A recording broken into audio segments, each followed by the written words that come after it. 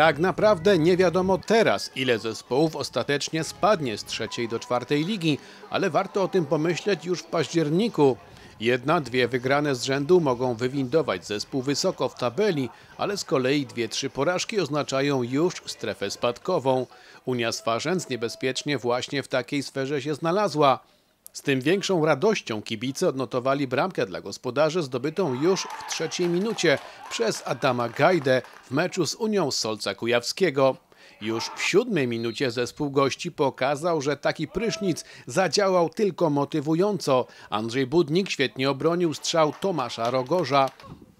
W 12 minucie trzech zawodników z Farzędza przyglądało się jak Rogosz pędzi z piłką i strzela na bramkę Budnika.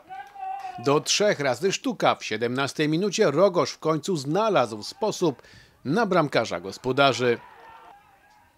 W 30 minucie goście zdobyli nawet drugiego gola, ale Dawid Paczkowski był na pozycji spalonej.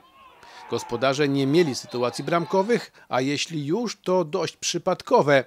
Mieli problem z przedostaniem się pod bramkę rywali. Zdarzały się też niepewne zagrania we własnej strefie obronnej. Były próby strzałów z dystansu, ale jedna akcja mogła dać prowadzenie. Niestety Krystian Antczak trafił w poprzeczkę. W drugiej połowie obraz gry niewiele się zmienił, chociaż trener Ostrowski za napastnika Antczaka wstawił Pawła Koralewskiego, defensywnego pomocnika. Ze swojej decyzji wycofał się jednak po bramce dla gości Solca Kujawskiego. W 56 minucie Dawid Janicki bezpośrednio z wolnego pokonał Budnika. Mimo tak złego obrotu sprawy w grze Unii ze Swarzędza nie nastąpiła jakaś radykalna zmiana. Próbowano różnych rozwiązań, wszystkie kończyły się jednak bez efektu bramkowego czy nawet celnego strzału. Swoje sytuacje miał też zespół Solca Kujawskiego, ale raczej pilnował wyniku i rzadko wyprowadzał kontry.